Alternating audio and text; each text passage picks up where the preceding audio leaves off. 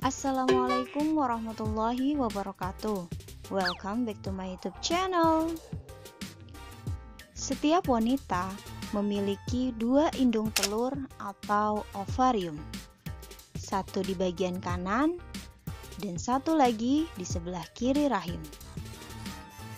Ovarium yang berukuran sebesar biji kenari ini merupakan bagian dari sistem reproduksi wanita. Ovarium berfungsi menghasilkan sel telur tiap bulan, mulai dari masa pubertas hingga menopause, serta memproduksi hormon estrogen dan progesteron. Fungsi ovarium terkadang dapat terganggu. Kista termasuk jenis gangguan yang sering terjadi. Di video kali ini, kita akan membahas seputar kista ovarium. Tapi sebelum lanjut, jangan lupa untuk subscribe dan hidupkan notifikasi untuk terus update informasi terbaru dari channel ini. Setiap wanita pasti takut jika mendengar penyakit bernama kista ovarium. Penyakit ini menjadi hal yang menakutkan karena kehadirannya di tubuh bisa berkembang menjadi kanker dan bersifat mematikan. Kista ovarium adalah kantong berisi cairan yang tumbuh pada indung telur atau ovarium wanita. Kista ini biasanya muncul selama masa subur atau selama wanita mengalami menstruasi. Pada dasarnya, kista ovarium tidaklah berbahaya. Yang membuatnya berkembang menjadi ganas adalah ketika kista ovarium tersebut pecah.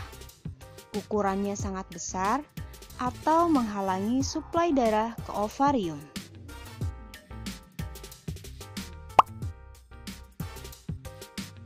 Pada kebanyakan kasus, biasanya kita tidak akan menyadari kehadiran kista ovarium di tubuh. Namun, kita akan merasakan gejalanya jika memiliki kista yang telah membesar, pecah, atau menutupi aliran darah ke ovarium. Berikut ini gejala-gejala yang bisa timbul akibat adanya kista.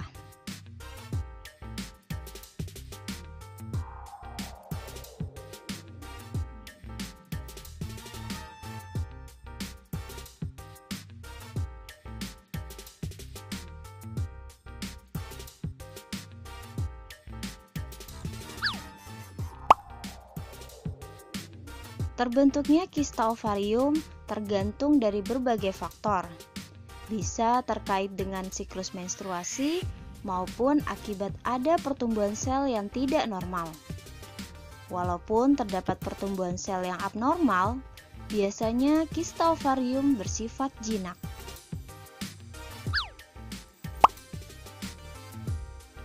Pada dasarnya, kista ovarium tidak berbahaya terutama jika ditangani pada awal perkembangan. Namun, kista berpotensi untuk merubah menjadi kanker ovarium, terutama jika penderita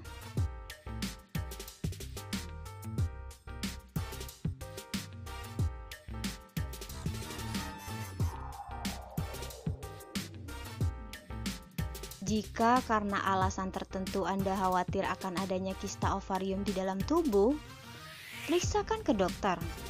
Dengan diagnosis yang dini, kista bisa ditangani dengan baik dan resiko komplikasi pun lebih rendah. Itu dia tadi info seputar kista ovarium. Semoga video kali ini bermanfaat untuk kalian semua. Jangan lupa untuk subscribe, like, komen, share ke seluruh sosial media yang kalian punya. And see you next time. Assalamualaikum warahmatullahi wabarakatuh.